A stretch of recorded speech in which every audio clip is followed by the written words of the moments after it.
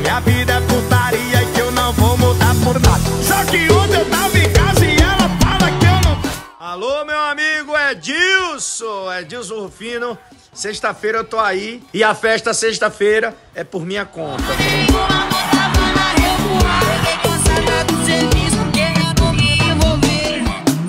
Olá, começa agora mais um boletim alfinetando. E olha só, de ontem para hoje vocês não falaram em outra coisa a não ser sobre a festa do empresário milionário que vai acontecer amanhã aqui em Manaus. E olha, muita gente acertou. É isso mesmo, o empresário milionário é ninguém mais, ninguém menos que o dono do Baratão da Carne, Edilson Rufino, que vai comemorar seus 50 anos de vida em uma grande festa, com direito a Wesley Safadão e Zé Felipe. Inclusive, o Wesley gravou um vídeo para o aniversariante. Alô, meu amigo Edilson, Edilson Rufino.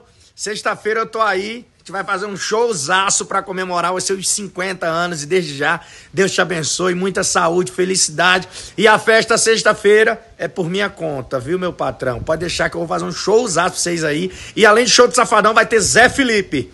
Bora? Eu já tô pronto, preparado, querendo. É só a festa de milhões. E logo ele, né, que começou com o Baratão da Carne, para quem não sabe, em um box lá no Educandos. E agora é um empresário de sucesso que vai fazer esse festão. Inclusive, recebemos com exclusividade como é que tá ficando a estrutura dessa grande festa. Acredita que eu mudei, baby, por você mudei. Então não viaja que eu tava na cachorrada, cê tá muito emocionada, bebendo que revoei. Bandido, tapa na